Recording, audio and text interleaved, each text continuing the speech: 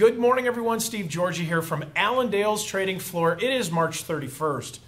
Last day of March. Uh, things will probably be pretty crazy here today, so uh, buckle in, I guess. Starting off, though, very quiet. So the calm before the storm. And uh, a lot of information going to be released from USDA at 11 o'clock Central Time.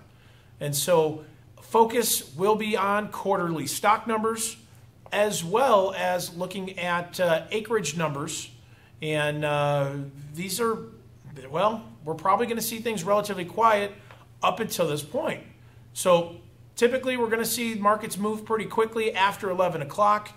Here's what the numbers are, and here's what guys will be looking at. As far as acreage, corn, they're looking for right around 90 million acres for corn. That's about a 2 million acre increase from where we were last year.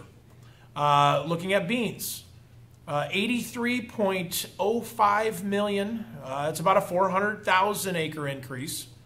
So uh, looking for a slight increase as far as bean acres. And then for wheat, a reduction of almost 3 million acres for wheat. So keep an eye on that here as we get closer to the report. But the bigger story for corn, at least, is going to be this quarterly stock number. What is USDA going to do with ethanol? What's USDA going to do with uh, with feed and residual?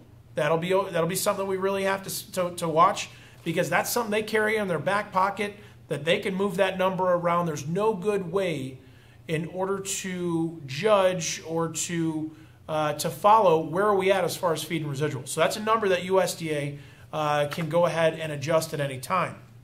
Um, and then obviously, where are we at as far as carry out, uh, export demand? Export sales were out this morning, neutral across the board, except for beans, kind of a negative number here for beans. Um, quarterly stock numbers. We're looking for corn to be uh, right around 7.8. Uh, so 7.8 billion.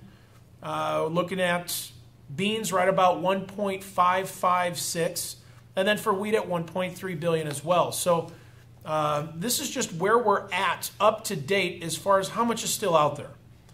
We're going to be we're to be reminded that this is yet another big number, and we've got a lot of corn out there, we've got a lot of beans out there, and wheat for that matter. So we're going to be reminded that this is still there. Uh, and as we move forward, though, after this report, probably about 10 minutes after this report, because we'll trade this for about 10 minutes, we're going to start shifting the focus to well, what's the weather look like? What kind of planting pace are we going to see? What kind of summer outlooks are we going to have as far as weather?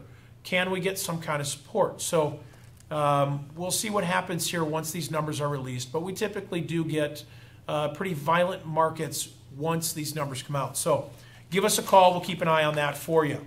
Uh, as far as cattle, probably going to start off lower once again this morning. Box beef dropping sharply. Cor uh, Choice down 319, Select down 416, but a sharp drop as far as box beef. Expecting to see cash markets trade at least $2 lower this week, uh, but we'll see where we finish up the week.